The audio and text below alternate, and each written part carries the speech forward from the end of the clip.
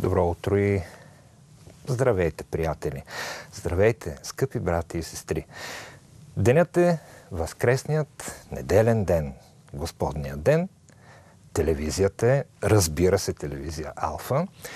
И предаването, знаете, неделя ден Господен. Моето име няма значение. То е много малко. Много въпроси. Много въпроси, свързани с Македонската православна църква. Още миналото предаване казах, че получих. Ето сега ще ви прочета, както винаги сме правили в нашето предаване. Пълният текст, буква по буква, на решението на Светия Синод по повод отправено писмо от Македонската православна църква.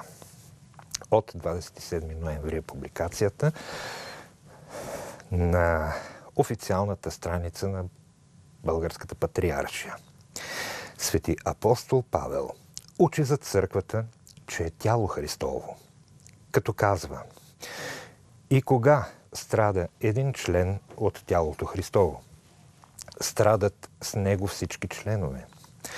Кога се слави един член, радват се с него всички членове. Параграф първи. Светият синод на Българската православна църква, Българска патриаршия, в заседанието си на 27 ноември 2017 година, пълен състав, разгледа писмо, входящ номер 676 от 14 ноември същата година на македонския архиепископ Стефан, председател на Светия синод на Македонската православна църква. Българската православна църква, Българска патриаршия – никога не е била безразлична към страданията на Македонската православна църква, поради което след направени разисквания Светия Синод единодушно реши при положение, че Македонската православна църква признава Българската православна църква, Българска патриаршия за своя майка църква, Българската православна църква, Българска патриаршия с съзнание за своя свещен дълг поема ангажимента да окаже пълно съдействие, като ходатайства и се застъпва пред поместните православни църкви, предприемайки всичко необходимо за установяването на канонически статут на Македонската православна църква. Втори параграф. Във връзка с предходното решение, Светият Синод реши – определя Синодална архиерейска комисия за преговори с Македонската православна църква и останалите поместни православни църкви за установяването на канонически статут на Македонската православна църква в състав. Старозагорски митрополит Киприан председател.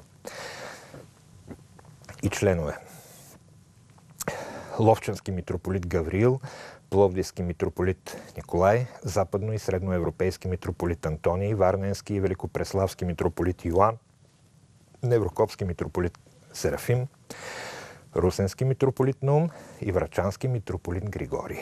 Председател на Светия Синод, Неофит, патриарх български и са изброени членовете на Светия Синод.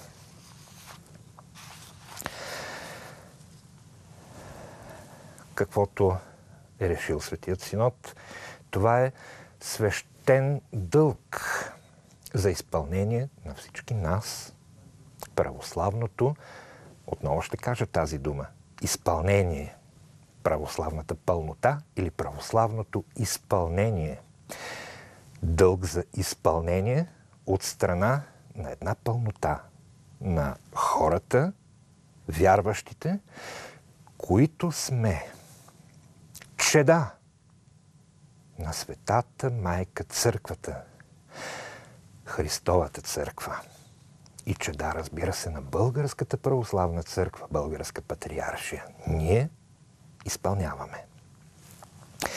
Ето какво каза Ловченският митрополит Гаврил по повод историческото значение на взетото решение от Светия Синод за предприемане на последователни усилия за установяването на канонически статут на Македонската православна църква. Специално за читателите на официалния сайт на Българската православна църква. Цитирането е важно, вдълбочаването в смисълът още по-важен. Затова слушайте внимателно. Любовта е дълготърпелива, пълна с благост. Не дири своето. Любовта никога не отпада. Любовта ни води в желанието ни да съдействаме за това. Казва дядо Гаврил, православните духовници и мирени от Македонската православна църква да могат отново да влязат в пълноценно духовно и литургично общение с всички нас.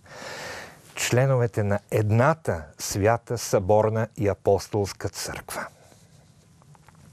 Задължени сме заради Господа и заради нашите ближни – да спомогнем за излекуването на дългогодишната рана, която е нанесена на общото църковно тяло чрез схизмата, в която се намира Македонската православна църква.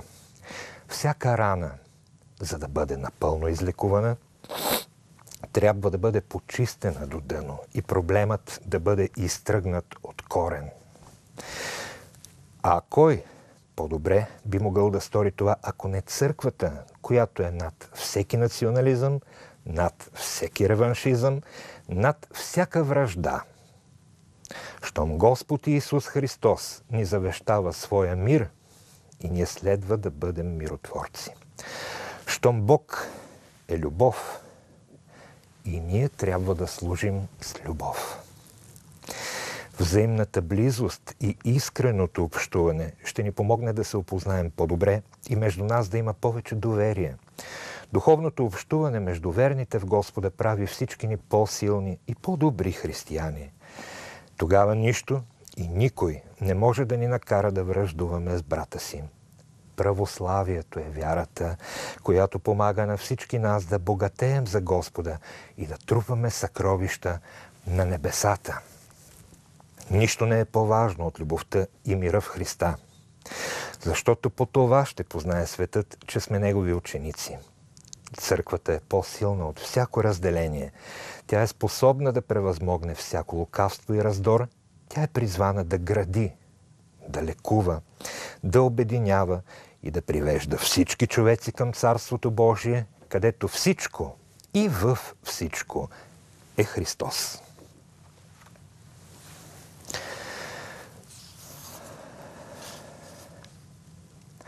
Вървим нататък. Официална делегация на Българската православна църква Българска патриаршия отпътува днес, 1 декември е съобщението, на официално посещение в Москва. По покана на руския патриарх Кирил и по решение на Светия синод на Българската православна църква, църковната делегация ще вземе участие в тържествата по случай 100 годишнината от началото на Всерусийският поместен събор от 1917-18 година и възстановяването на патриаршеския статут на Руската православна църква. В състава и са Ловчански митрополит Гаврил, западно- и средноевропейски митрополит Антоний, русенски митрополит Нум и старозагорски митрополит Киприян, както и главният секретар на Светия Синод, Мелнишки епископ Герасим. И едно уточнение в това съобщение на официалният сайт на Българската православна църква. Преговорите по въпроса за Македонската православна църква ще започнат едва след като комисията, определена на заседанието на Светия Синод на 27 ноември, се събере на заседание и определи стратегия на действията си.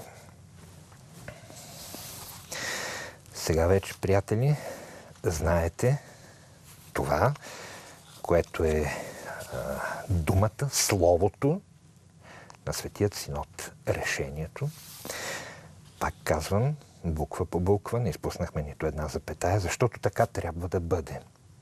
А ние, от своя страна, знаейки, се съобразяваме и молим Господ за Неговата велика милост, за Неговата благодат, тъй че да усили на всички ни силата и добрата ни молитва. Тъй, че и в предстоене пред Господа и в действия в името на доброто на всички, нещата да станат и с наше дейно съучастие. А Бог вижда, че това, което предстои да бъде, е хубаво, прекрасно, много хубаво. И тъй. Простете.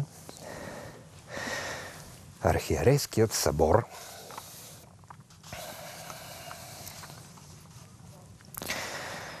на Руската православна църква.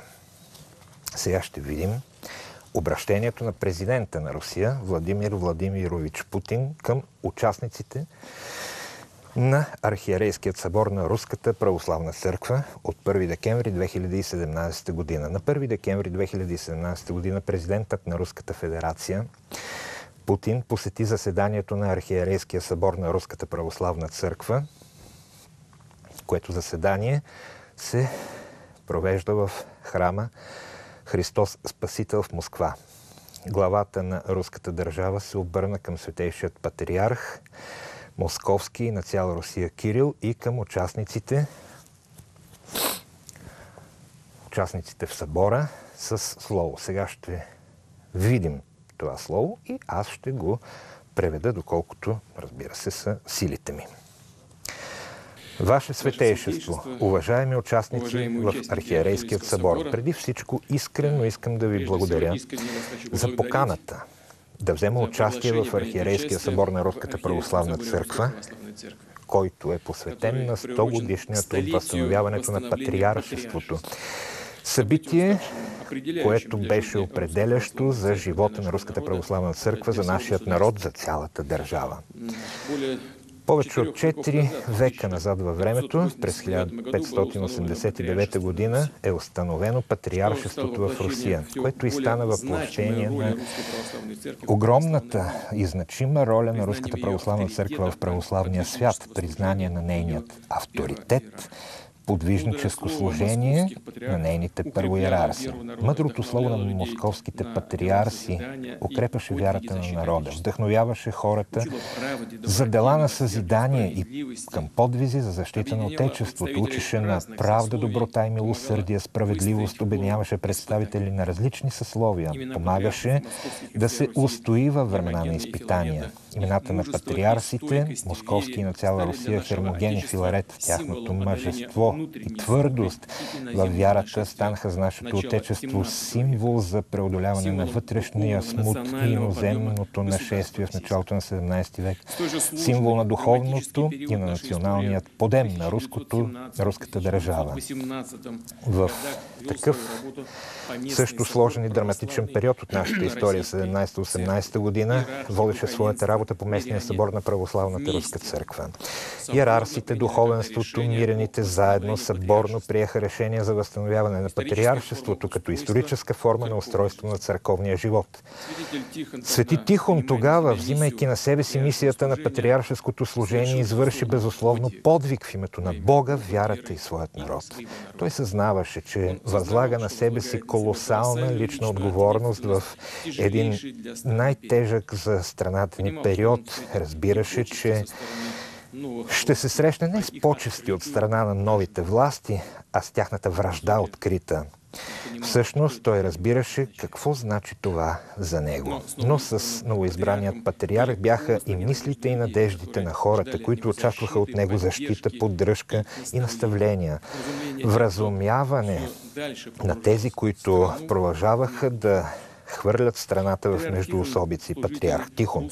Служителите на Руската православна църква в пълна степен споделяха съдбата на Русия и нейният народ. Бяха заедно с хората в техните беда, беди и изпитания. Въпреки репресиите и гоненията, унищожението и разграбването на храмовете, опитите да се отслаби, дискредитират църквата, те запазиха най-главното – вярата. Помогнаха на нашият народ и тук, и в чужбина да съхрани култура, история, обичай, традиции и национален характер.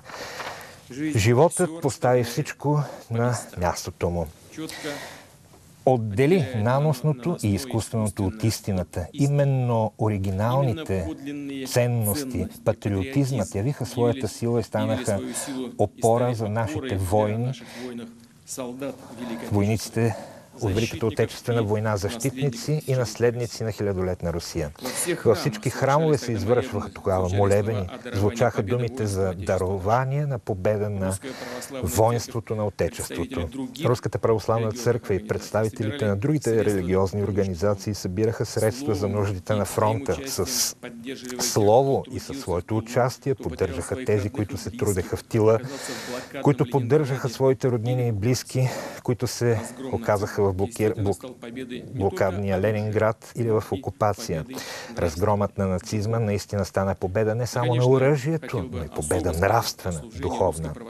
И разбира се, Искам да кажа за служението на Руската православна църква в периода на социални и економически трансформации, които преживя нашата страна в края на 20 век.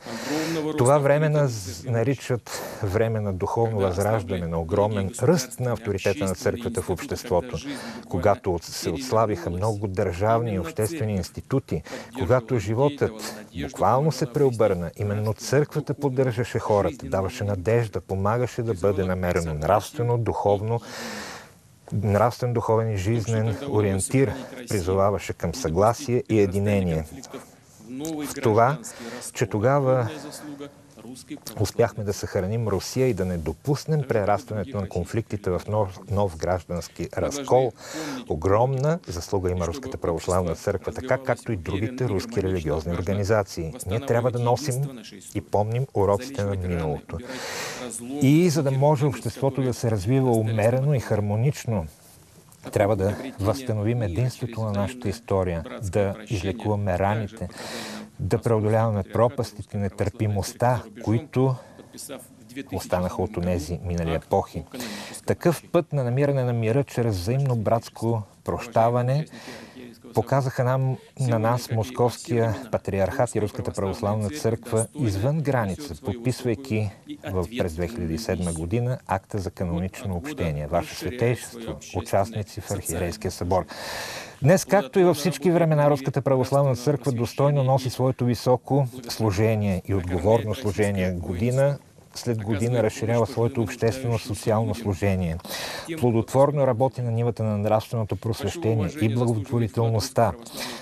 Грижи се за руското воинство, оказва помощ, помощ на възрастните и нуждаещите се хора и на тези, които са по-надолу в социалната стълбица. Голямо уважение заслужава и Руската православна църква заради укрепването на междунационалния и междурелигиозния мир в развитието на конструктивен диалог и сътрудничество с другите традиционни религии на Русия.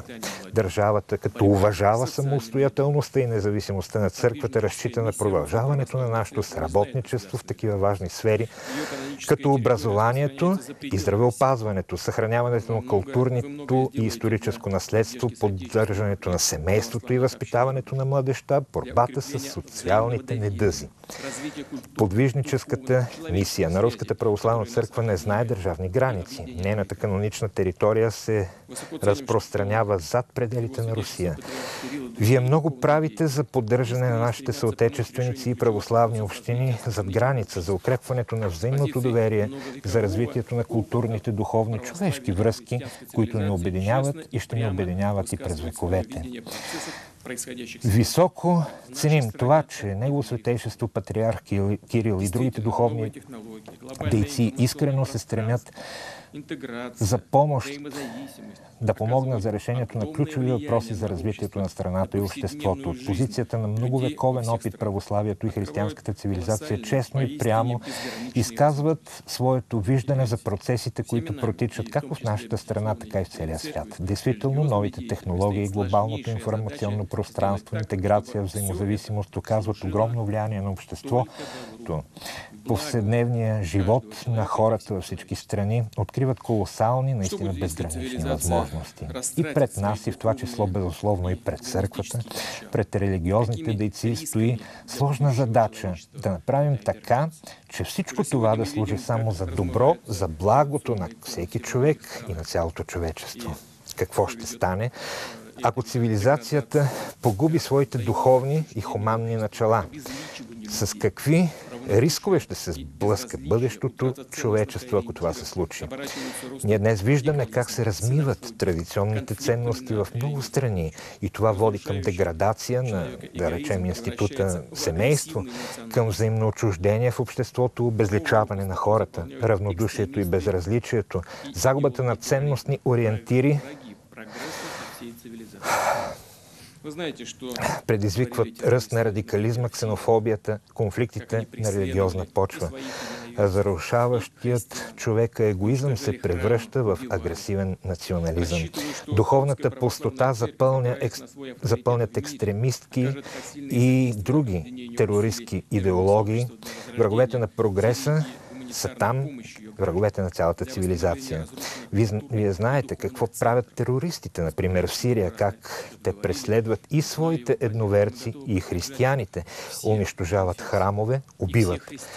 Разчитам, че Руската православна църква, опирайки се на своя авторитет в света, ще окаже необходимото съдействие за обединяване на усилията на световната общественост за възраждането на Сирия и хуманитарна помощ за нейните граждани, възстановяване на разрушените културни и духовни центрове. Ние с патриарха. много пъти сме говорили за това, знаеки неговата позиция и сме готови да кажем, че поддържаме и всички конфесии, всички християнски направления, всички без изключение. Сега имаме такава възможност и ние сме готови за съвместна работа. Повтарям, действително, светът стремително се променя, преживява много сложен етап в своето развитие. Нашата страна е неотделима от глобалните процеси и тенденции. Ние сме длъжни да се стремим да бъдем лидери в технологичната област, в економиката, в знанията, в най-широк смисъл на думата, за да обезпечим благосъстоянието и безопасността на всички свои граждани. При това все повече хора гледат на Русия като на ориентир за неотменимите традиционни ценности и здраво човешко битие. Обеден съм, че достойно, за да отвърнем достойно на призива на бъдещето, сме длъжни, трябва да отстояваме справедливостта, истината, правдата, да съхраняваме своята самобитност и идентичност, да се опираме на нашата култура, история, духовност, на ценностна основа да стъпим. Да вървим напред. И едновременно да бъдем пазители на онова, което ни е завещала и продължава да бъде Русия, като едновременно с това и включваме всичко ново в нашите усилия да вървим напред. Накрая поздравите на Негово превъзходителство, президентът на Русия. Подарък му дарява и му пожелава дълги и благи години патриаршеско служение. И как завършва той? Искам да завърша своето своята кратка реч, така както винаги тук сме говорили в Русия и продължаваме да говорим с Бога. Си реч с Бога напред. Защо тази реч, тя беше 11 минути, ви я, я предоставих на вашето внимание, скъпи брати и сестри единството на държавата и църквата. Само след няколко минути ще чуем отговорът на Негово светейшество, руският патриарх, който е не по-малко интересен. Единството, за да се преодоли, преодолее, простете, в, в светлината на вярата, на правдата, на ценностите, да се преодолее всичко това, което идва от дълбините на вековете – и което е натрупано като негатив, да бъде преодоляно, да бъде незабравено, но да бъде простено и по този начин да се постигне доброто и благото за всеки. Защото когато има разделение между хората в един народ, тъй също и когато а ние виждаме непрекъснато това. Има разделение, съществува разделение между различни народи по света. Тогава злото тържествува. Напротив, в единството на любовта, в единството на мира, в единството на общите ценности,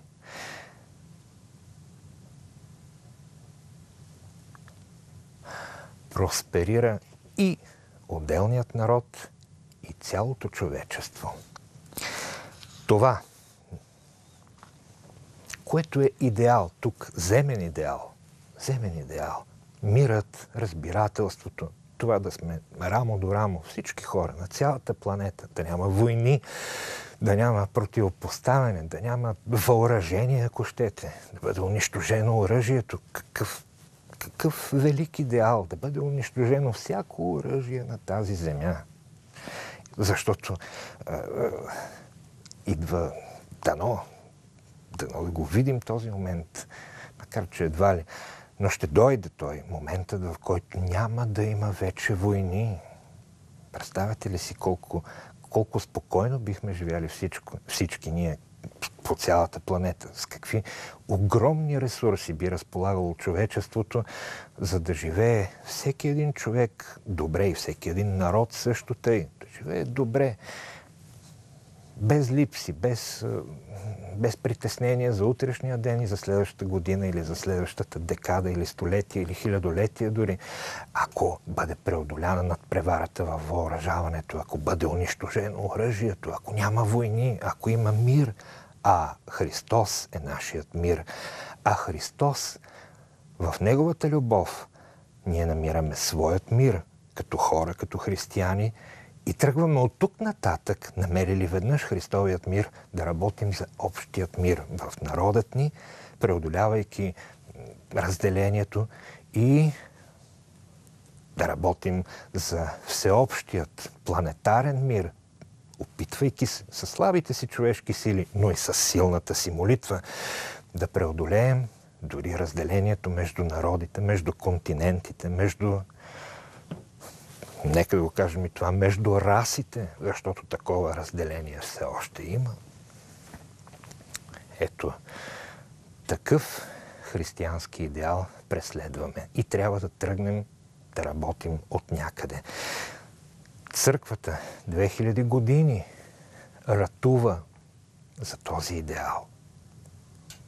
И ако и в Русия, и в България се вихреше зловещото торнадо на атеизма, години, години наред, десетилетия, църквата остана. Църквата съхрани. А ние продължаваме да отстояваме да съхраняваме и да развиваме онова, което е нашето духовно, преди всичко, наследство. За всеки, за когото е мил, идеалът на единство между държавата и църквата, един източно римски, имперски или както е популярно да го кажем, византийски идеал. За всички вас ето сега бих искал да ви поздравя с едно песнопение. Какво е то? Се надявам вие да разпознаете и после, когато включим телефонът на зрителя, да ми кажете какво сте чули. Нека чуем следващото песнопение.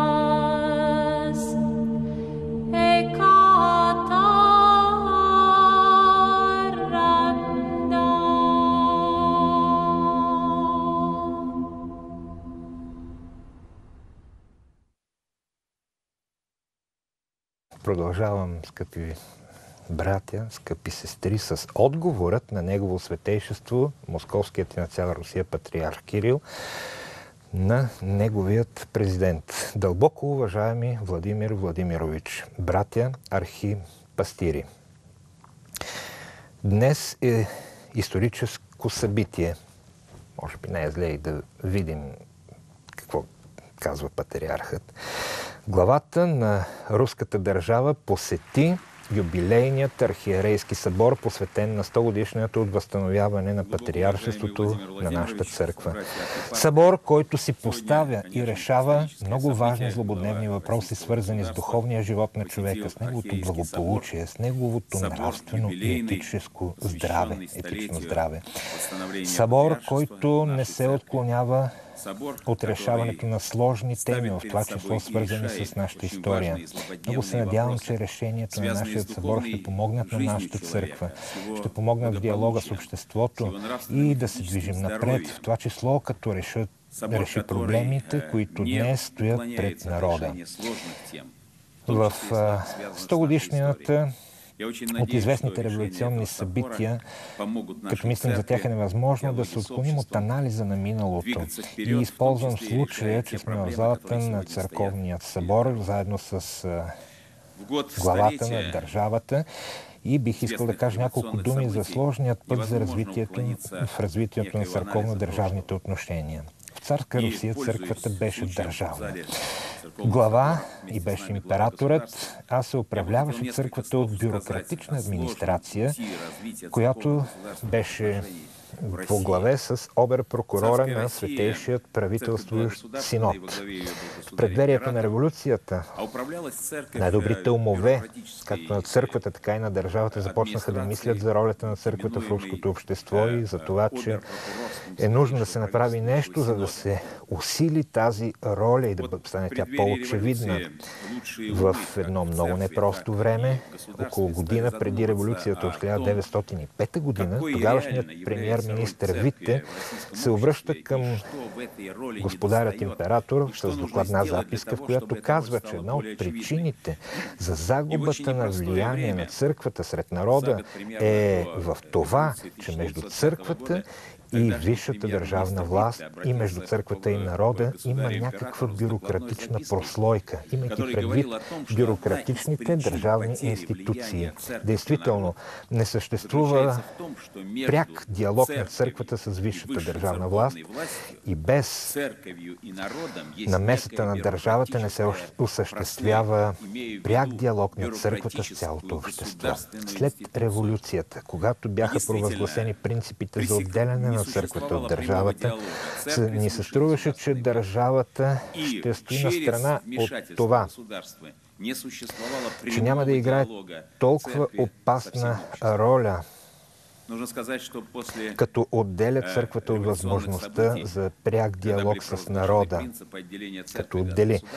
Но това, което се случи беше следното. Буквално от първите дни на съществуването на новата власт, вече чрез едни специални институции, включени в спецслужбите на тогавашното съветско, съветска държава, започнаха опити да се формира такава политика, каквато беше и преди революцията, а именно да се назначат хора, бюрократи, да, които да контролират всичко, което се случва на ниво висша църковна дейност и решения. С други думи, вмесването на местата в църковният живот преследваше конкретни цели. И освен това, към общо държавните интереси активно се включиха и идеологически интереси. Когато през 90-та година станаха промените, Църквата ясно заяви, че не трябва да има никакви бюрократични пречки за общуването между църква и държава. Тогава се намираха горещи глави сред нашите тогавашни революционери. Предлагаше се да се създаде министерство по делата на религията и някои от известните хора, които активно взимаха участие в политическите промени, не само искаха, но даже предлагаха своите кандидатури за нови обер-прокурори. Бих искал сърдечно да ви благодаря за това, че в днешна Русия не съществуват никакви бюрократични пречки. Осъществява се диалог между патриарха и президента, висшата църковна власт и съответстващите министерства и ведомства. По всичките вертикали на нашия живот се води пряк диалог, който дава възможност църквата да формулира своето разбиране за случващото се в страната, сред народа, да обръща внимание на такива теми като обществената нравственост, социалният живот, екологичните проблеми, нравствените измерения и проблеми на вътрешната и външната политика. Всичко това формира в обществото ясно разбиране за самостоятелната позиция на църквата и може би най-важното е, че тази позиция се основава на същите тези нравствени принципи, на които днес се опира и нашето законодателство. Тези принципи израстват от нашата духовност, от нравствената традиция, която днес от руската държава не се оспорва. Няма нищо по-сериозно и важно от нравствения консенсус в обществото.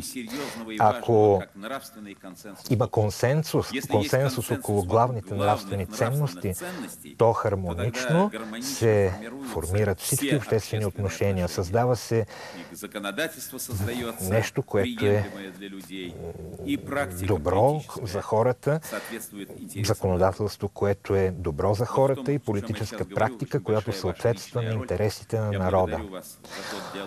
Вашата лична роля за това е огромна. Благодаря на вас за диалога, който осъществяваме с вас, за диалога, който осъществяват ръководителите на министерствата и ведомствата с съответстващите профилни организации, структурите на Руската православна църква и за тази атмосфера на откритост, в която днес живее нашето общество. Мисля, че именно тази откритост е залог за непременните успехи на нашето Отечество в най-близко и в по-далечно бъдеще. От името на Архиерейския събор на Руската православна църква. бих искал да ви пожелая дълбоко уважаеми Владимир Владимирович, дълги години живот, крепко здраве, помощ Божия в тази висока мисия, която вие чрез волеизявлението на хората сте получили от Господ.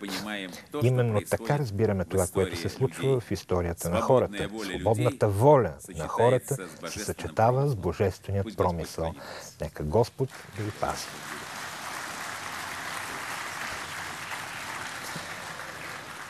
Ето го. Аз много се радвам, когато видя хора, които са на най-високите места и в една институция много далеч от всичко земно и материално, каквато е църквата, нашата си институция, дори тази дума ще сложа в кавички, защото да говорим за църквата като за институция е повърхностен поглед на нещата. Църквата е богочовешки организъм. Тя не може да се обясни с земни понятия, с земни аксиоми, възоснова на които да се формулират някакви земни тук човешки, обществени, дори социални теореми. Църквата не е нещо от този свят, макар че има своето тяло тук на този свят. Но главата на църквата е сам нашият Господ Исус Христос. Светия Дух животвори църквата. Църквата е тялото Христово. Църквата е и небесна, църквата е и земна. Църквата е побеждаваща, църквата е и воинстваща, воюваща, по-скоро, извинете, воинстваща в никакъв случай, но воюваща с злото тук на земята воюваща обаче чрез силата на любовта, на мира и доброто дело, а не по някакъв друг начин. Та, от една страна е висшето ръководство на тази духовна, но и земна, разбира се, в едно институция, пак казвам, условно думата институция употребявам. От друга страна, а, най-високите управници на държавата, която е напълно земна, която е напълно свързана с повърхността на този свят и нещо повече с хтоничните сили, с глабината, понякога с ада, защото всеки знае, че този, който живее без Бог, обикновено живее с дявола. И много често в институции, вече без кавички употребявам тази дума, институции на държавна власт могат да се намерят хора, които никак не свързани с нравственото, с традицията, с вярата, с висшето, духовното, с светлото, с правдата. Напротив, виждаме, че са свързани с долното, с... Разбира се, адът не е под земята, но нека да ползваме тази метафора. Слизат под повърхността на нещата, за да почерпят зловонни сили от онзи, който желае човечеството да пропадне, желае война, желае глад, желае болести и епидемии, желае развала на природата, желае унищожение на човечеството и преди всичко иска хората да не намерят своето спасение, да не стигнат до своето спасение, да не видят разтворени вратите и на земната, и на небесната църква. Сатаната. Но това го има в всяка институция, във всяко общество, във всяка държава, сред всеки народ, за съжаление. И ако църквата дърпа хората към небесното и на вещественото и към спасението, а има сили, които натискат надолу човечеството и човека отделния, за да отнемат онова, към което ни е призвал Господ и онова, което ни дари със своята смърт и възкресение Син Божий на Голготският хълм и а, там при а, от, зад отваления камък на вратата гробни в Възкресението по средата стои държавността. И ако държавността, колко пъти сме говорили за това, обърне своят взор към небесата и се опре на нравствената сила на Евангелието, всички вървим нагоре. Ако обратното държавността заложи на злият, на холителят, на клеветникът, и се опита да почерпи сили от неговата тъмна и черна мощ, развалата е неминуема. Та как да не се радваме и как да не дадем, ето в нашето предаване даваме за пример, тази среща на държавността, която иска да върви нагоре с все народа, с, ето, казват и двамата висши дейци на църквата и на държавата и с всички други вероисповедания и конфесии, всички да вървим нагоре, заедно, а не да бъдем издърпани в гената огнена. Още тук на земята при това. Издърпани в гената огнена. А да не дава Господ дори да помисляме, че бихме могли в вечни времена да бъдем там, в пъкълът. Да стигнем до там, че да, да не можем да отвърнем жизненият си път от пропадането. Та, скъпи брати и сестри, как да не се радваме и как да не даваме за пример. И за пример си даваме на нас. Кой от нас какво направи, за да бъде църква и държава в сътрудничество, в съработничество. Кой от нас какво прави? Много хора правят, но някой от нас си седим, наблюдаваме отстрани и казваме, остави ги тези попове. Или пък е, държавата. Какво е държавата? Аз ако мога да открадна, е, това е. Тези рецидиви от социализма, от комунистическото болшевишко минало. Напротив, всеки от нас трябва добре да помни, да съзнава, че от всички ни и от нашите общи усилия, не само на единици, които наистина работят, и аз нямам предвид архиереите, иереите и православното изпълнение на църквата, активната църква, активната част от Христовата българска православна църква, те винаги са работили. Ние винаги сме работили. Имам предвид хора, които не са активно заети в дейността на църквата, но са вярващи. Да, те работят. Но много от нас, да не кажа с огорчение и с съжаление, но това трябва да се каже. Много от нас стоят на страни и нищо не правят. А всеки може да присъедини поне своята молитва към постигането на нашата висша цел.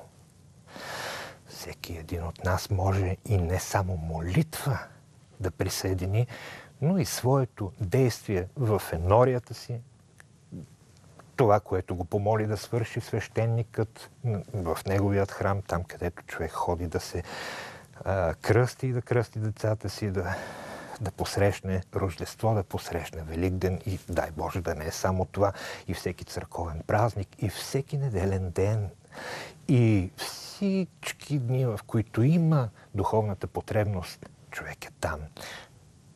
Е енорийският храм.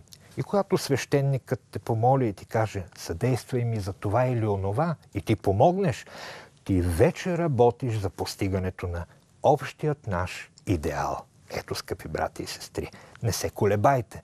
Което свещеникът ви поиска, то, то не е необходимо да е материално. Може да е моля те, вземи и пренеси, примерно, този кашон с ориз или брашно, които съм купил, иди и го занеси еди къде си, където има гладни хора и го раздай, защото аз съм заед, ще каже свещеникът. И ти ще го вземеш този кашон, ще отидеш, ще раздадеш. Ето, ти вече работиш.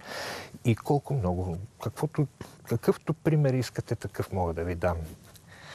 Работим за, за висшият идеал, който съчетава духовното и земното и не дава на ада да изпълзи и да се разпростре навсякъде по, уви, нашата грешна земя. Труд и молитва. Обичаше да казва един мой професор така, ора е лабора, нали? труди се и, и се моли. Това е но аз бих искал и няколко думи да ви кажа за а, документите, които са прияти от този архиерейски събор, но това ще стане след като, така за да възстановим баланса, чуем пък сега а, прослава на един друг град, защото м- знаете ли, има един философ, аз направих е, философ и не само философ, направих с него интервю, което поради ред причини до сега е, не съм могъл да завърша обработката на това интервю и да го опуснем по телевизия Алфа. Е, има, казва той, небесен Иерусалим, да, има и земен Иерусалим, има първи Рим, има втори Рим, има и трети Рим, но има и втори Иерусалим. Кой е вторият Иерусалим? Кой е третият Рим всъщност? И как а, си съработват, а, съработ, как а, си взаимодействат и се подпомагат Третия Рим и Втория Иерусалим.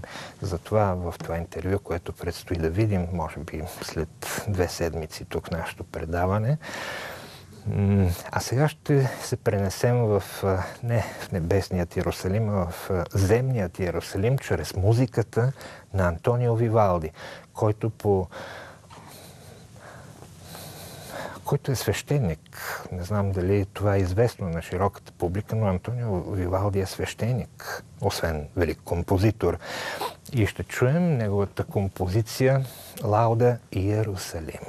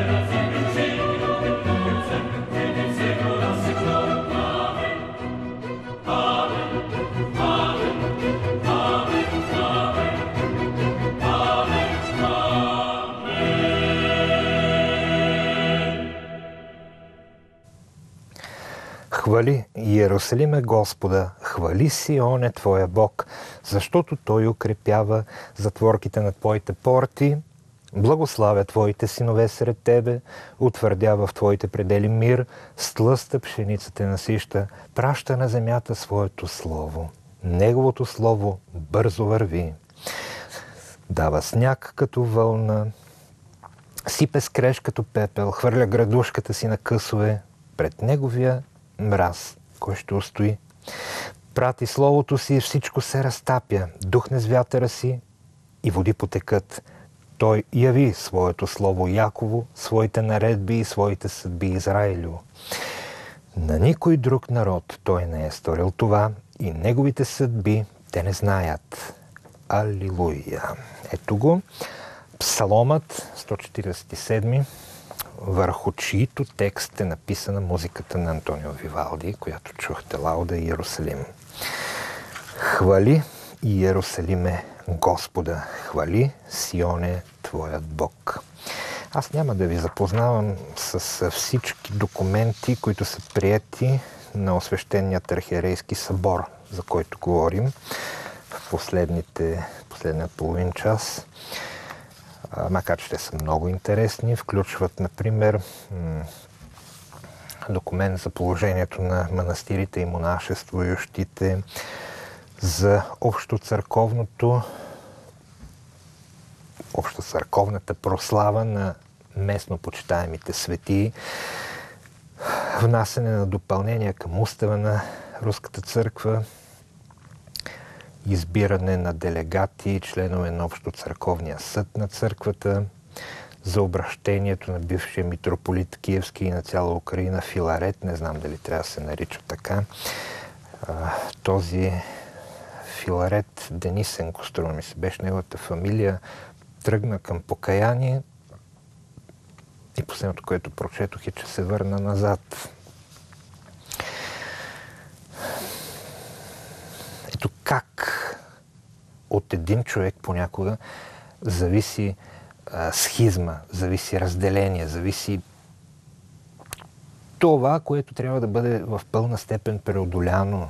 И вие чухте решенията на Светия Синод по преодоляване на схизмата спрямо Македонската православна църква.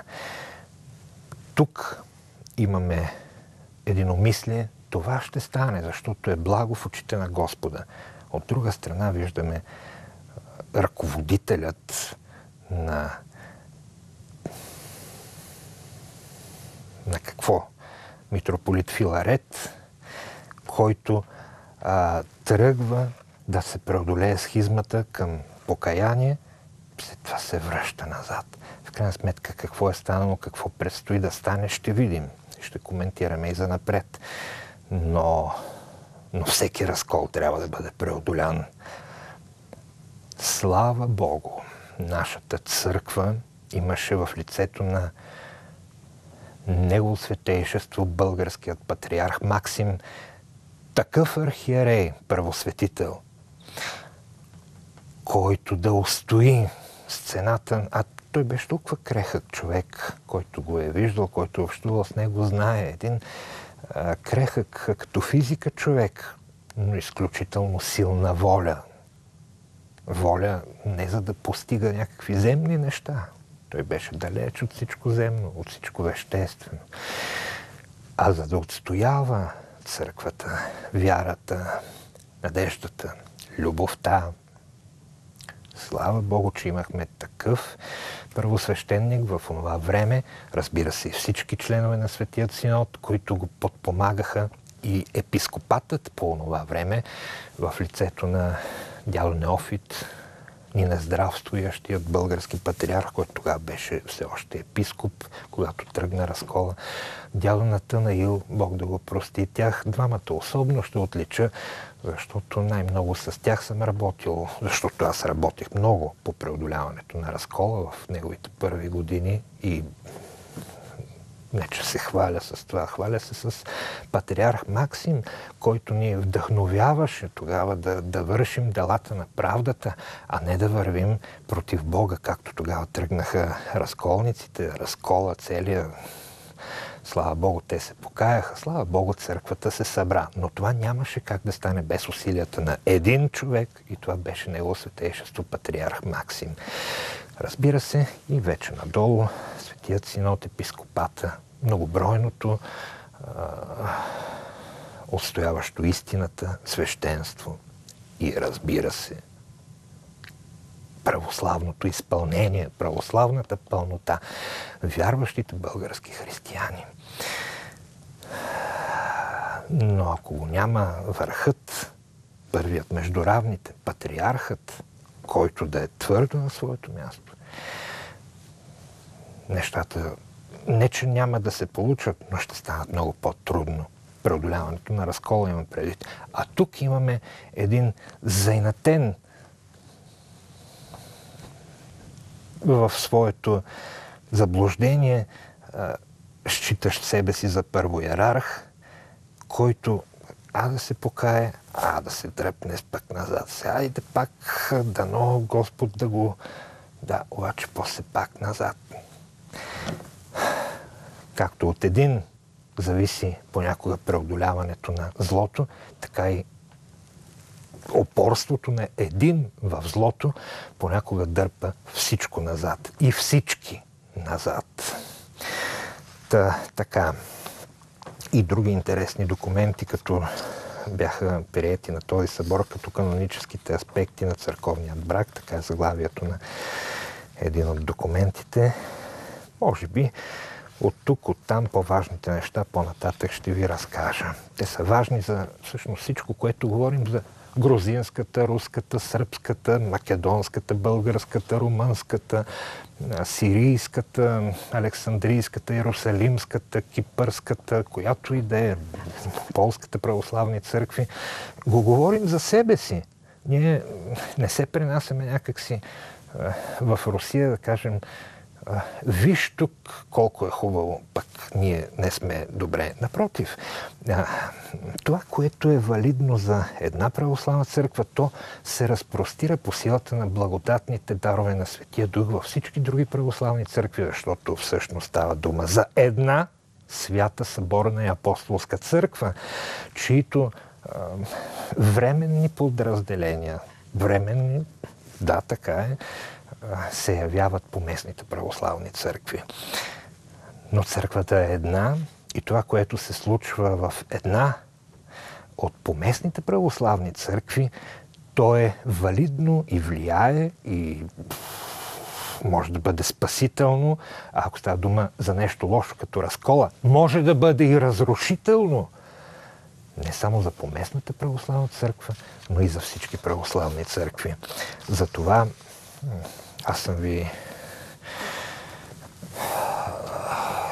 предлагал, скъпи приятели, материали свързани с Гватемалската православна църква, с Кенийската православна църква или общини, по-скоро православни общини, с Китайската, Корейската православна църква, с Малайзийската православна църква, но не защото на нас не ни е важно какво се случва в Българската православна църква. Точно обратното. Винаги започваме с решенията на Светия Синод. Но, пак казвам, става дума за една. Църквата е една. Една свята, съборна и апостолска църква. И когато гледаме към друго място на тази планета, където нашите събрате православни работят, молят се и отстояват, ние гледаме на себе си. Учим се от тях, те се учат от нас. Ние даваме пример, както беше по време на този Критски събор преди година и половина. Ние даваме българите пример, понякога взимаме пример от други. Ето, една е църквата. Един е Христос, едно е кръщението, една е вярата, едно е спасението. Няма много църкви. Та, когато гледаме в друга посока, различна от нашата си тук, българската, то е не защото посоката е друга, посоката е същата. Църквата е същата. Ние сме членове на една и съща църква. И тя е една. Църквата. Няма повече от една църкви. Та, просто гледаме на нашите събратя и се учим, както и те гледат към нас и се учат а от Българската православна църква, от нейните първоярарси, от Негово светейшество, българският патриарх Неофит, от членовете на Светия Синод, може много да се научи. Може да се научи много и, и в богословски смисъл, но и в чисто, ако щете, аскетичен, анахорецки дори смисъл. Могат да дойдат подвижници от края на земята, за да се научат как живее монахът от нашите български монаси, които са и епископи, които са и митрополити, които са и патриарси. Както дядо Максим, както дядо Неофит, както преди това него светейшество българският патриарх Кирил, голям ум, изключителен човек. Съжаление, аз не съм го познал, не съм имал възможност да се запозная с него поради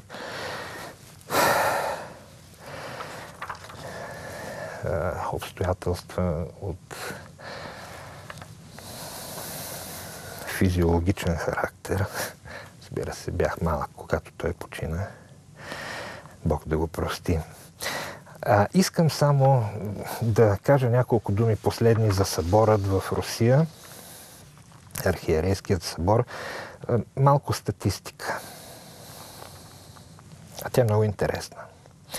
Руската православна църква обединява 303 епархии. 10 повече, отколкото в 2016 година. Значи само за година има 10 епархии повече. Разрастване. Което значи не разрастване заради самото разрастване, а още много хора се спасяват. Спасяват ли се? Спасяват се. Храмове строят ли си? Сега ще видите. В тези храмове отслужва ли се светата литургия? Да. Хората изповядват ли се? Вече кръстени. Причащават ли се? Учат ли се на Словото Божие? Да. Тоест, спасяват ли се? Дълбоко вярвам, да. Макар, че спасението, разбира се, е от Бога. Ние само работим за своето спасение с Божията помощ, но спасението е от Бога, така че не можем да знаем кой се спасява, кой ще се спаси. Ние можем да правим каквото трябва, а Бог знае какво ще бъде. Така. Значи 10 епархии повече от миналата година и 144 епархии повече от 2009 година. Какъв ръст? Нови три митрополии. Вече са 60 митрополии. Епископите, епископата на Руската православна църква, 377 архиерея. 23 архиерея повече, отколкото са били на 1 февруари 2016 година и 177 повече, отколкото в началото на 2009 година правещи архипастири 293. 11 повече, отколкото в началото на 16-та година и 144 повече от 2009 година. 144 епархии повече, 144 правоправящи архиереи повече. От 2009 година. Штатното духовенство 390, извинете, чак пък толкова не, 39 414 клирика, измежду които 34 774 пресвитера и 4640 дякона. За една година духовенството се е увеличило, т.е. били са ръкоположени повече 521 дякона или свещеника. Това прави по свещеник и половина на ден. Шегувам се. Разбира се, в един ден тук ще ръкоположат четирима души, петима, шестима, там никой. Нали, разбираме. В Руската православна църква има 36 878 храма или други помещения, това дебело искам да го подчертая, в които се отслужва божествена литургия. Тоест, помещения. Може да няма храм. Може да няма храм. Но трябва да има едно отделено помещение, там където се развиват нещата, където мисионерството влива жизнен сок в общество, което тъне в своите заблуди често или в един, за съжаление, напластен вече атеизъм. Мисията на църквата. Идват свещениците, идва архиереят. Няма храм. Добре, я да видиме. Тук можем ли в да речем, тази къща, да отделим една стая и в тази стая, или може дори да е фургон в двора, може дори да е лодка, защото сме виждали как се отслужва на специална, нещо като малък кораб, с малък купол върху него дори направен, се отслужва с тази литургия и тази, този малък кораб или катер по-скоро се движи по реката и отива до едно поселище, до следващото и където е необходимо, спира от селото, в което няма храм, или малкия град. Хората се качват на това корабче, присъстват на светата литургия, причащават се, слизат. Кораба продължава на там, катера. Дори и това може да бъде помещение, в което да се отслужи света литургия. Или фургон, или стая в апартамент, или стая ли в къща, дори в блок. Скоро даже видях на една снимка трябва да я намеря в архива си и да я донеса, да я покажа. А, така както в а, панелни блокове входа много често, нали, той входа е с а, две страни, може да се влезе от две, много често и от предната част на блока и от задната. И задната част на блока я правят тя фризьорски салон на входа, извинете прегражда се и се прави я фризьорски салон, я някаква малка кръчмица, я магазинче за нещо. А на тази снимка, която видях и ми беше много мило това, гледам направили задната част на входа, познайте къде. В Русия, разбира се, Параклис. И хората от блока са преценили. Ние много ще говорим за напред за тази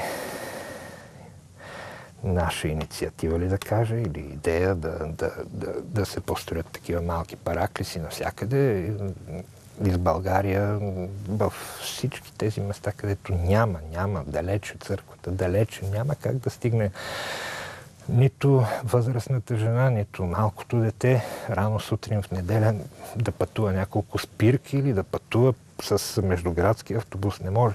Но малко параклище да се построи, за това ще говорим. Сега не говорим за това, просто давам пример. Та, в хода, вместо да направят фризьорска, фризьорски салон, браснарница или там нещо друго, за пиене на бира или друг алкохол, параклис. И хората от входа и от целия блок, които сигурно също няма къде да отидат в неделя или на голям празник на църква или просто като тръгнат сутрин на работа да си запалят една свещ. Имат този параклис в блока си. Прекрасно. Та, ето, за това става дума. 36 878 храма или други помещения, в които се извършва Божествена света литургия. Така, за една година хиляда... Не.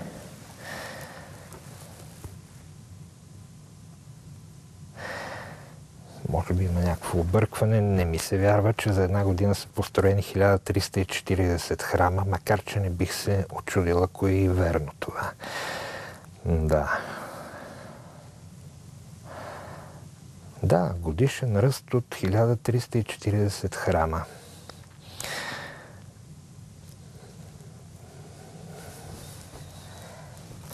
Освен това, в Руската православна църква има 462 мъжки манастира, 7 повече отколкото година назад и 482 женски манастира, 11 повече отколкото през миналата година.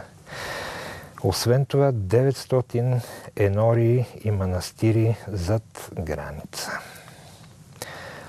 Това е нещо грандиозно. Но мащабите, разбира се, са други. Ние сме една малка страна. И въпреки това можем да се получим и можем да, да се отнесем, как се казва, процентно или според мярата на нашото, нашата големина и нашето население и онази мяра да видим, ако те са направили, построили колко бяха 1340 храма за 150 милиона души, нови 1300 храма. Хайде да сметнем, който от вас е по-силен в математиката още сега, за 7 милиона души. Колко храма би трябвало да сме построили ние, ако се развивахме със същите темпове? Не, че не се строят храмове тук в България, но наистина размахът там е нещо, от което можем да се получим. И тъй. С едно отново проникновено православно песнопение ще се отделим за малко от мира сега и с хубавия глас на този певец Никодимус, който много често съм пускал в нашето предаване, ще, ще се възнесем към Господа за няколко минути, а след това се връщаме при свещеното писание и включваме телефонът, на който може да се обадите в нашето предаване. Alleluia.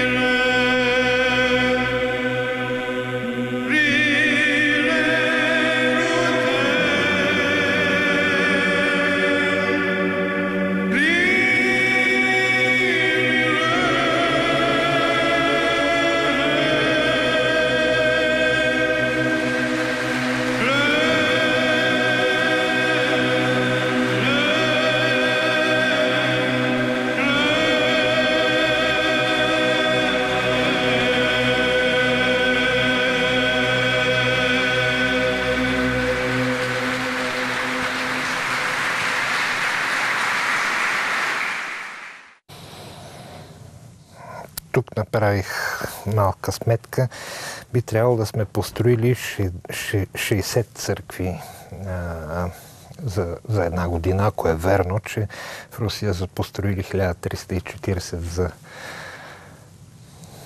за една.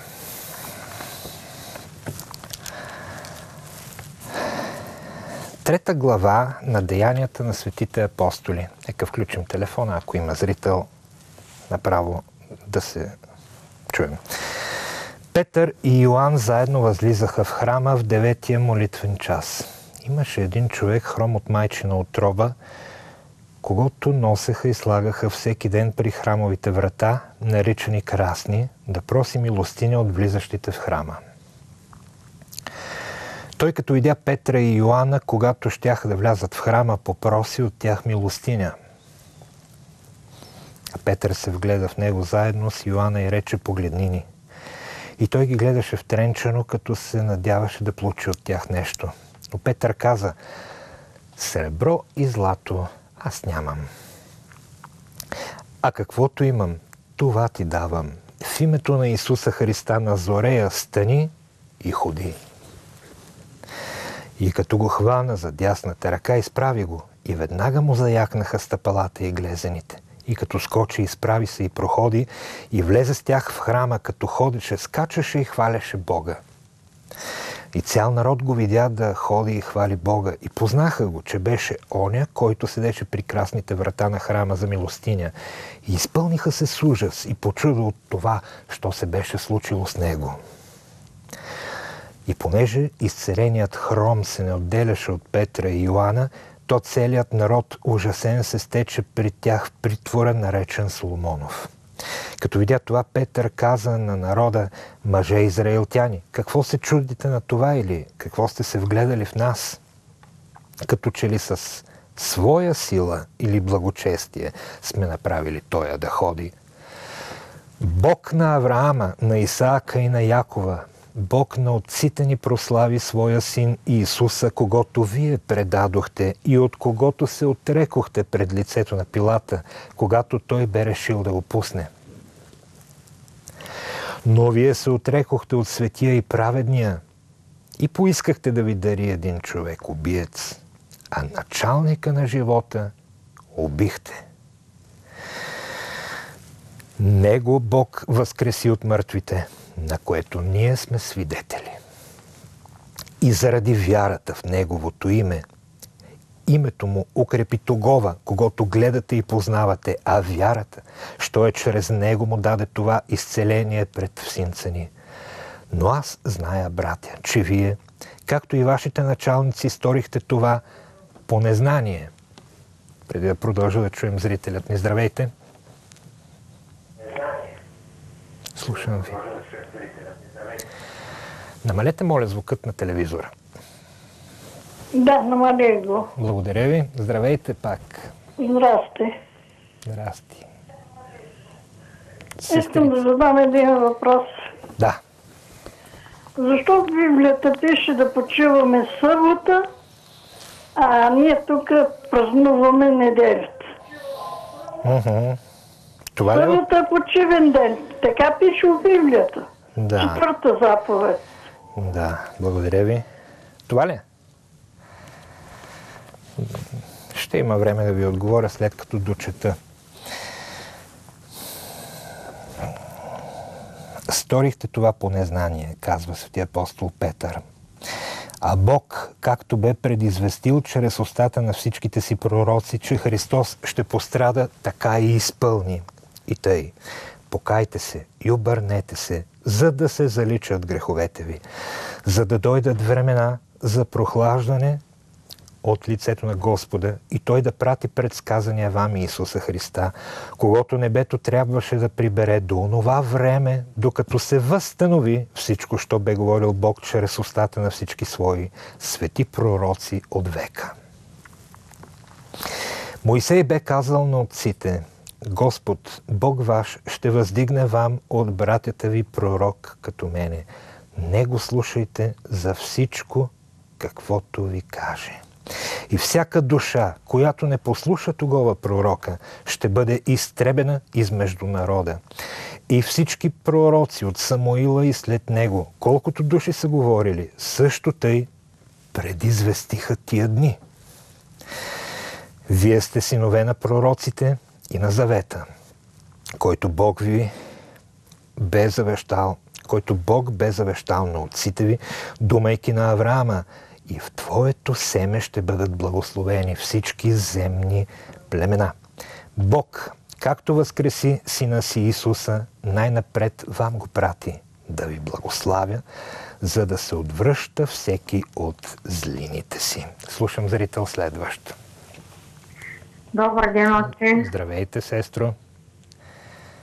А, имам един практически въпрос, Да. който е далеч от темата, може би, но ме вълнува отдавна и бих искала да го задам пред вас, защото се колебая.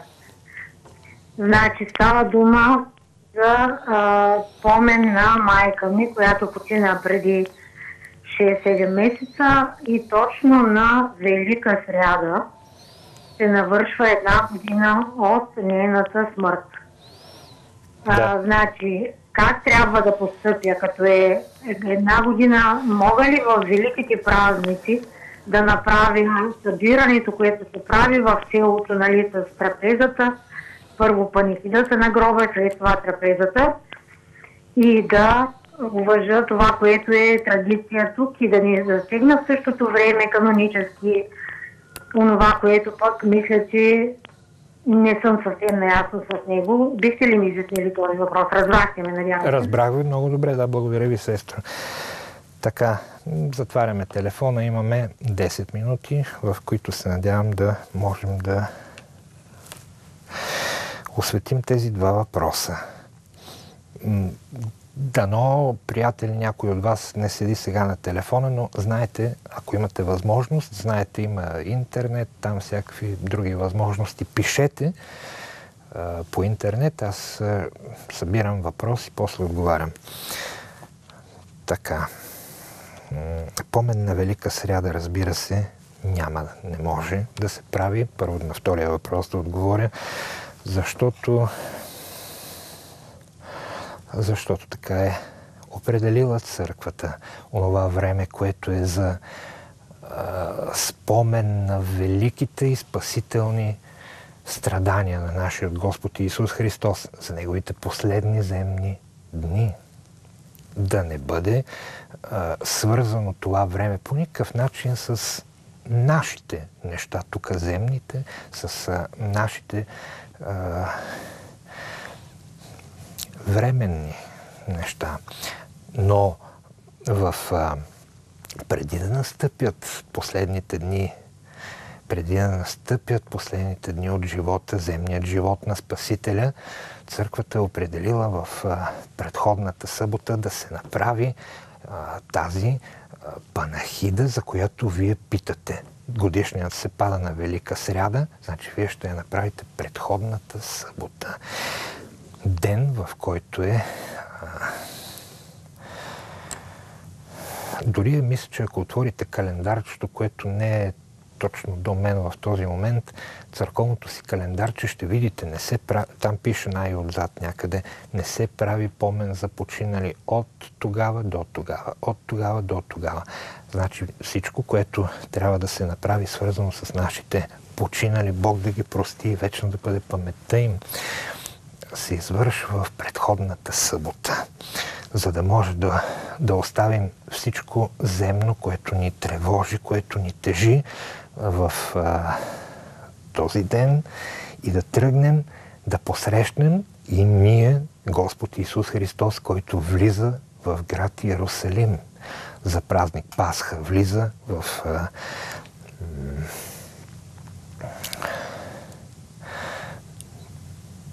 първият ден на седмицата, неделният ден, когато празнуваме вход Господен в Иерусалим.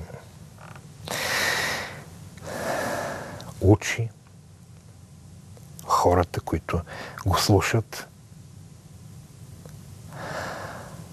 бива предаден след като в Иерусалимската горница заедно празнуват Пасха с Той, нашият Господ и Неговите ученици, бива след това предаден, бива бичуван, мъчен, бива разпънат, умира на кръста и на третия ден възкръсва. Този трети ден, денят на Възкресението, скъпа сестрице, първата ни зрителка, вече отивам за отговор на вашия въпрос, идвам при вас. А, този ден празнуваме ние, християните. В Библията пише, казахте вие. Аз мога веднага да донеса, може би пък и да го направя в следващото предаване, ако този въпрос е толкова тревожен за вас, събрал съм един топ от сигурно 150 страници материали от светите отци, от а, богословите в след светоотеческият период, от съвременните богослови православни, които много ясно обясняват защо християнинът не бива да пази съботата, не бива да празнува съботата, а трябва да празнува първият ден на седмицата, денят на Възкресението на нашия Господ Исус Христос от мъртвите. Но, но да се но да се синтезират тия 150 страници в един кратък отговор, тъй като това е невъзможно, а и невъзможно и да се прочитат и безсмислено, разбира се, който в смисъл да се запълнят няколко предавания с размишления по този въпрос не е след като всеки може да прочете литература по въпросът има. Така. Има ли нещо, което а, трябва да ви притеснява в празнуването на неделния ден? Точно обратното. Би трябвало да ни притеснява празнуването на съботния ден. Защото съботният ден, денят в който Господ си почина от своите трудове, както пише още в първата книга Моисеева Битие, това е ден, който ние дълбоко тачим, ние православните християни. И празнуваме, разбира се. Кой каза, че не празнуваме? Ние празнуваме и той е предходният преди Възкресение, което празнуваме в неделя, в първия ден на седмицата. Последният ден от седмицата ние също тъй празнуваме. Ако се вгледаме в църковната поезия, в тропарите, стихирите, катавасиите, те са многобройни такива стихове, песнопения, които се пеят вечерта в петъка и през деня в съботата, ще видим а, на какъв висок пиедестал издига а, литургичното, литургичната поезия, празникът, засвидетелствайки по този начин, че съботният ден е много важен за християнинът. Но осмия ден на седмицата. Първият ден, разбира се, на седмицата, но осмият в есхатологичен смисъл е онзи ден, в който възкръсна нашият Господ Исус Христос. Онзи ден, в който ние живеем от тогава и продължаваме да живеем и ще живеем до свършекът на света. В този ден, денят на Христовото Възкресение, това е неделният ден, възкресният ден, не денят на слънцето, не както и ние го наричаме, денят на нищо, нищо правенето, защото християнинът не е да не прави нищо в неделния ден. Християнинът ходи на църква, християнинът каквото добро може да свърши в неделния ден, го върши. Но съботният ден, или ако щете, цялата тази седмица която предхожда възкресението на нашия Господ Исус Христос от мъртвите, от сътворението до Неговото разпятие. Цялата тази седмица е предходна съботния ден, денят, в който Господ си почива от своите трудове след творението. Всичко това е предходно. С възкресението на Господ Исус Христос ние влязохме в осмия ден същевременно и в първия ден на новото творение, на новата плът, на новия дух. И вече живеем в този ден. Моисей бе казал на отците, ето какво ни казва м- Деяния на светите апостоли, тази трета глава, която преди малко прочетох. Господ Бог ваш ще въздигне вам от братята ви пророк като мене. Не го слушайте за всичко, каквото ви каже. Всяка душа, която не послуша тогава пророка, ще бъде изтребена измежду народа. Моисей и Моисеевият закон остават те са вече завършили своето време. Нито една чертица от закона, както казва нашият Господ Исус Христос, не е останала да не се сбъдне. Всичко е спазено. Всичко, което са казали Тората, пророците и псалмите, се е случило. И Новият завет отменя Старият завет. Защото новото вино в нови мехове се налива. И новият завет е нашият завет. Заветът на първият ден на седмицата. Осми след творението, но първи в нашето начало, в нашият нов живот, в нашият път към нашето възкресение. От възкресението на Христа към нашето възкресение. Все един и същ неделен, възкресен и първи и осми ден. Това ще ви кажат и богословите, това ще потвърдят и отците, това ще засвидетелстват със своят подвижнически живот и светиите на църквата. Тъй, че в недел, без да, а, без да омалуважаваме Старият завет, разбира се, всичко това го казваме, защото всяко писание, и това е, това го пише, е всяко писание е боговдъхновено и полезно за полука. Но Новият завет, отменяйки Стария, е нашата вяра, нашата надежда, нашата любов. И тъй, скъпи брати и сестри, с вяра, надежда и любов да преминем от този днешен възкресен неделен ден, нататък цялата седмица, а и в благодат Божия и сила от Светия Дух и всички дни на нашият, дай Боже да е дълъг и здрав, бъдещ живот. На много я и блага е лета. Благодаря ви, че бяхме заедно.